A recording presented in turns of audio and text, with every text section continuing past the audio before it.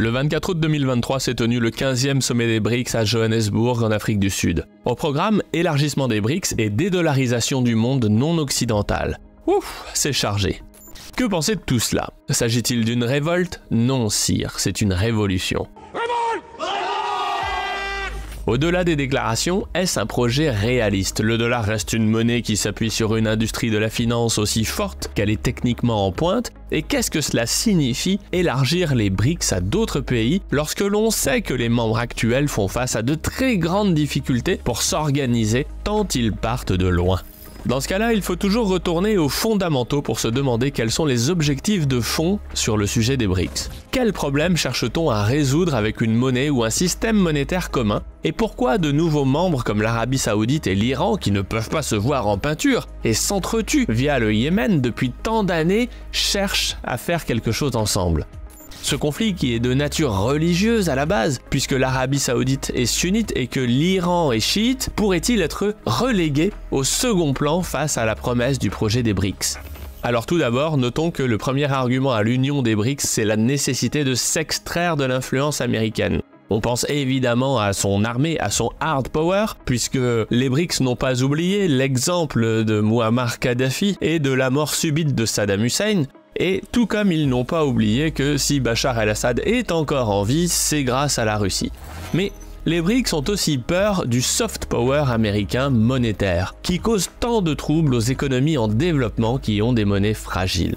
Pour les pays en développement qui ont besoin d'une forte croissance, le problème d'un monde exclusivement libellé en dollars, c'est que votre économie peut rentrer dans une crise terrible par le jeu des taux de change et des taux d'intérêt. L'électrochoc majeur qui a secoué l'Asie et dont la Chine a tiré toutes les leçons, c'est la crise asiatique de 1998. La situation est assez simple dans le fond. Dans les années 90, l'Asie se développe avec une forte croissance et elle s'endette en dollars pour la financer. Dit autrement, elle importe beaucoup plus qu'elle n'exporte et ses comptes extérieurs en devises se dégradent. Or, pour payer les intérêts d'une dette dans une monnaie étrangère, il vous faut des rentrées d'argent dans cette monnaie étrangère.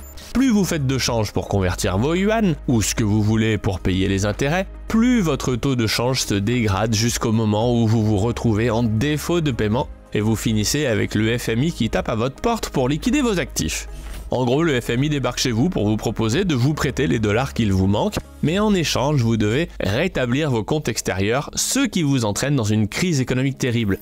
À partir de là, le prix de vos actifs locaux, comme les ports par exemple, baisse fortement et ce sont bah, souvent des Américains qui les rachètent à pas cher. Autant vous dire que les Chinois ont retenu la leçon avec une certaine amertume en prime. Et c'est à partir de ce moment-là que la Chine a pris sur elle de gonfler au maximum ses comptes en dollars et de devenir l'usine du monde pour être certaine de devenir le plus gros détenteur de dollars au monde. Alors oui, ça fonctionne. La preuve par l'exemple chinois. Le souci, c'est qu'il a fallu sacrifier une génération de travailleurs chinois sur l'autel du dieu dollar. Concrètement, c'est toute la Chine qui s'est serré la ceinture pour vendre sa production à l'Occident à prix cassé en sous-évaluant son yuan pour financer sa croissance. En parallèle, la Chine a pris sur elle de devenir la monnaie de référence dans sa zone d'influence que j'appelle la Chine étendue. Comme vous pouvez le voir, les comptes courants en dollars ont explosé à la hausse durant cette période. Et la Chine a pris sur elle de faire converger les taux de change en Asie autour du yuan afin de permettre des accords de prêt entre ces pays en vue de la dédollarisation du monde non occidental. En conséquence de quoi L'Asie s'est développée et la Chine a également développé son marché obligataire qui a fini par battre à plate couture la rentabilité du marché obligataire américain et français par la même occasion. Et j'en suis particulièrement content car je recommande les obligations chinoises depuis octobre 2018. Donc si vous faites partie des gens qui ont suivi ce conseil, bah vous avez gagné environ 50% de plus qu'avec des obligations françaises. Si vous voulez profiter des portefeuilles construits par Didier Darcet tout en disposant des explications précises sur ces mécaniques financières à l'échelle mondiale, nous vous avons préparé une formation gratuite par email sur 7 jours afin de vous aider à faire le point sur votre patrimoine et mieux comprendre notre monde financier. Pour vous abonner à la stratégie grand angle, cliquez sur la fiche qui apparaît en haut à droite de l'écran ou via les liens en description. Et tout cela nous renvoie à une question importante. Pourquoi les BRICS veulent et ont besoin d'un marché obligataire? Si c'est si utile que cela, pourquoi est-ce que la Russie a sacrifié le sien en remboursant religieusement toutes ses dettes entre 2014 et 2019 Pour bien le comprendre, il faut comprendre à quoi sert une monnaie d'État et à quoi sert une banque centrale. Par défaut, la monnaie universelle, c'est l'or. Il s'agit du consensus monétaire le plus largement admis. Par contre, si vous utilisez seulement l'or dans votre pays et que vous venez à en manquer en quantité suffisante, vous pourriez subir une crise économique sévère à cause du manque de monnaie, un problème financier technique. C'est ce qui est arrivé à l'Espagne au XVIe siècle, aux USA au XIXe siècle ou encore à la Grèce au début des années 2000 si vous remplacez le mot or par euro, sachant que dans les deux cas c'est une monnaie que la Grèce ne maîtrisait pas. Du coup, les États ont très rapidement compris qu'avoir sa propre monnaie permettait de réguler l'activité économique et de limiter les crises économiques issues d'une crise monétaire. Le premier levier d'une monnaie souveraine, c'est la création monétaire. Mais le deuxième levier, bien plus intéressant car moins connu, c'est le marché de la dette, à savoir la création d'un marché obligataire. C'est sur ces aspects que la Chine et la Russie se sont concentrés ces 15 dernières années. La Russie s'est employée à fermer son marché obligataire en vue d'un conflit intense avec l'Occident depuis les événements de Maïdan en Ukraine, tandis que la Chine s'est employée à le structurer et l'ouvrir légèrement. Ce marché permet aux États de donner un prix au temps sur leur monnaie dans le but de pouvoir gérer la quantité de monnaie circulante. En gros, en réglant le niveau des taux d'intérêt, vous créez une manette de contrôle sur le taux de change lorsque vous attirez des capitaux extérieurs à votre pays. Ou alors, vous pouvez gérer le taux d'activité économique dans votre pays lorsque vous agissez sur des capitaux qui viennent de vos habitants. Prenons la Chine comme exemple pour voir comment elle s'est servie de son marché obligataire pour deux choses. La première, inciter sa population à épargner pour financer le développement de son économie, et la deuxième, sous-évaluer le yuan pendant très longtemps afin de favoriser le développement de son industrie. Comment ça marche concrètement? Pour inciter les gens à épargner, il suffit de monter les taux d'intérêt. Dans ce cas, vous montez également le coût de l'accès au crédit pour les entreprises par contre.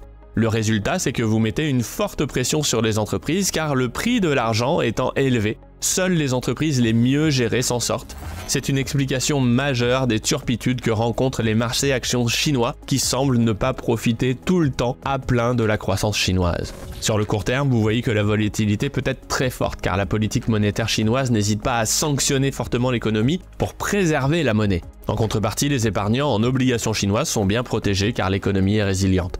Vous favorisez donc un tissu économique sain et une bonne confiance dans l'épargne. Par contre, si vous vous arrêtez là, vous allez attirer les capitaux étrangers car votre monnaie est attrayante et bien rémunérée. En conséquence de quoi, vous allez faire monter la valeur de votre monnaie comme c'était le cas du Deutschmark avant l'euro en Europe. C'est à ce moment-là que vous utilisez un deuxième levier, la création monétaire. En émettant des yuan, vous faites baisser son prix sur le marché et vous contrôlez votre taux de change. La Chine a longtemps utilisé ce levier pour que l'industrie chinoise soit la plus compétitive au monde. Le problème, c'est qu'en faisant cela, vous pénalisez le pouvoir d'achat à l'importation de votre population. C'est un problème car la population pourrait râler de ne pas pouvoir profiter pleinement du fruit de ses efforts. Mais la Chine a utilisé cet argent pour financer ses travaux d'infrastructure afin de moderniser la Chine pendant 30 ans. Donc les Chinois n'avaient pas accès au BMW car le taux de change était trop bas, mais ils sont passés du vélo à la voiture très rapidement. Donc la population s'y est tout de même retrouvée car 200 millions de personnes ont pu se déplacer de la campagne vers les villes en ayant accès à un travail avec la promesse d'un futur meilleur pour leurs enfants. Voilà toute la puissance d'un marché obligataire. Contrairement à ce que les fans invétérés de l'or ou les bitcoiners maximalistes disent, car ce sont les mêmes dans le fond, un État moderne et bien géré a besoin d'un marché obligataire, donc a besoin d'être endetté. Mais alors me demanderez-vous de suite, pourquoi est-ce que sur grand angle on n'arrête pas de répéter que la France et les USA sont trop endettés et que cela les tue à petit feu Pour une raison simple, l'Occident a fait de la dette extérieure pour financer sa consommation interne. Je rappelle que le PIB en Europe ou aux États-Unis, c'est dans les 70% de consommation et 30% d'investissement. Tandis que les Chinois ont fait de la dette interne pour financer des infrastructures et l'importation des usines occidentales. En gros, ils sont plutôt à 70% d'investissement et 30% de consommation. Oui, la relation est en miroir car c'est le financement de notre consommation qui a permis à la Chine d'importer nos usines chez elle. Forcément, il y en a un qui gagne et l'autre qui perd à long terme. Mais globalement, pour une économie saine, s'il faut un marché obligataire, est-ce à dire qu'il faut nécessairement endetter un pays comme le prêchent les économistes sortis de la Sorbonne? Eh bien non, pas forcément. La Suisse nous donne un exemple bien sympa à ce sujet. Pour faire de la dette sans être endetté, voici la recette de la BNS, la Banque nationale suisse. Comme le franc suisse monte fortement car il est perçu comme une valeur refuge en Europe, la BNS s'est chargée de le faire baisser ou du moins de ralentir sa hausse pour que l'industrie suisse, plus de 20% du PIB tout de même, et c'est très important, ait le temps de s'adapter. Donc la BNS a émis du franc suisse sous forme d'obligation. Mais comme le Suisse, et surtout le gnome zurichois, comme on appelle les banquiers suisses, n'aime pas du tout s'endetter, la BNS a utilisé les dollars issus de l'émission des obligations suisses pour acheter des actifs. Tout d'abord de l'or, puis des obligations chinoises, puis ayant fait le tour de tous ces actifs, des actions de la Silicon Valley notamment. La BNS est donc gorgée d'actifs désirables qui sont la contre-valeur des dettes émises. Elle paie 1,3% d'intérêt par an sur les bonds suisses émis et touche beaucoup plus sur ses investissements à l'étranger. D'ailleurs, chaque année, ou presque, les cantons suisses attendent avec gourmandise les dividendes de la BNS qui viennent les enrichir. Pour la petite histoire, les actions étant volatiles, la BNS a fait des pertes ponctuelles en 2022, surtout après le plongeon de la tech. Et du coup n'a pas pu servir cette manne financière au canton. Certains cantons ont donc râlé en disant Mais ce n'est pas juste, nous nous étions habitués à ces surplus. Nous voici en déficit à cause de vos mauvais investissements. Eh bien, figurez-vous qu'ils se sont fait vertement engueuler et rappeler à l'ordre, car les excédents de la BNS n'ont pas vocation à boucher les trous. Ce sont des bonus. Ces cantons mal gérés ont donc dû passer sous les fourches codines du peuple lorsqu'ils ont annoncé des hausses d'impôts locales pour mauvaise gestion. Bref, tout cela pour dire qu'un pays riche et bien géré peut tout à fait avoir un marché obligataire à hauteur de 30% de son PIB, donc de la dette, sans être endetté pour autant. Il ne faut tout simplement pas confondre les vrais investissements avec de la consommation. C'est toujours le même principe de base, hein. on ne vit pas au-dessus de ses moyens. Et à l'inverse, dans le même temps, la Russie, qui se préparait à un conflit dur avec l'Occident, et probablement long, a réduit drastiquement la voilure en se repliant sur l'or, pour les raisons que je vous ai expliquées dans cette vidéo en mai 2022. Et oui, le problème avec le marché obligataire, c'est qu'il s'agit de contrats. Donc lorsque vous vous préparez à envahir le pays d'à côté et à rentrer en conflit avec l'OTAN, mieux vaut éviter d'avoir des contrats financiers avec les pays que vous allez fâcher. Donc, à retenir, lorsqu'un pays rembourse sa dette en grande proportion, en détruisant son marché obligataire externe, c'est soit de l'incompétence, soit qu'il se prépare à un conflit.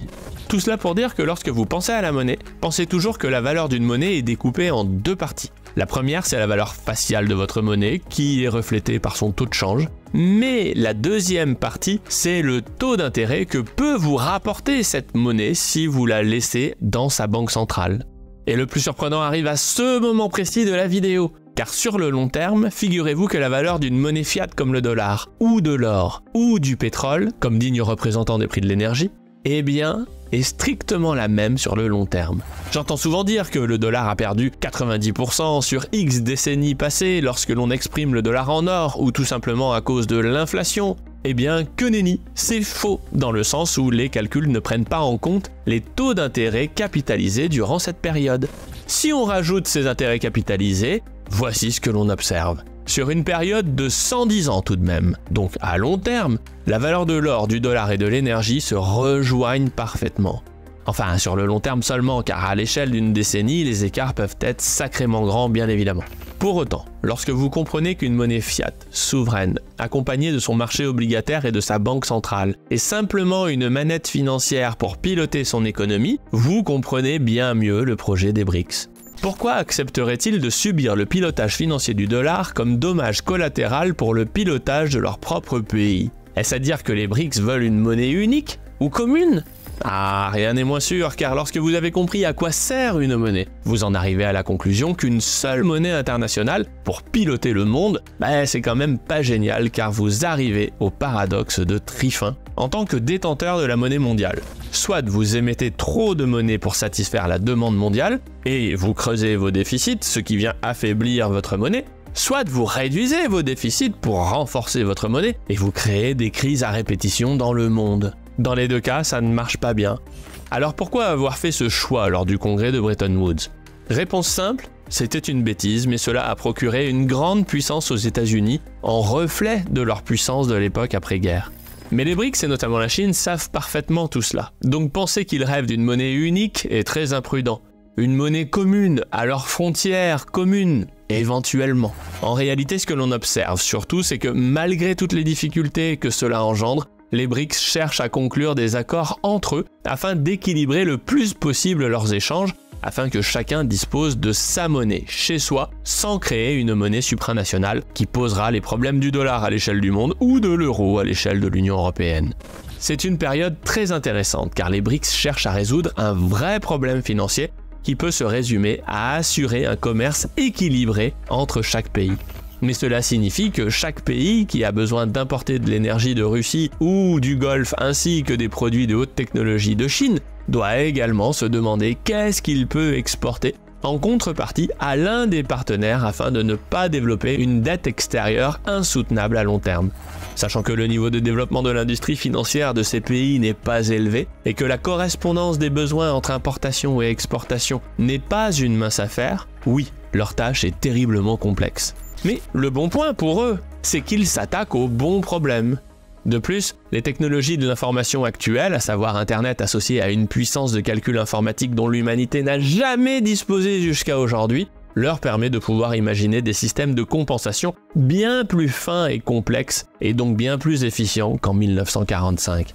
Nous sommes donc en train de vivre l'écriture d'une nouvelle page de l'histoire économique réellement palpitante. Et pour aller plus loin, et comprendre à l'inverse comment la France s'est suicidée industriellement parlant, allez voir cette vidéo. Vous comprendrez aisément pourquoi ce n'est pas la Chine qui nous a poussé dans le trou, mais pourquoi la France a volontairement fait un grand bond en avant spontanément sous l'impulsion de ses plus brillants cerveaux issus des grandes écoles d'administration de l'économie.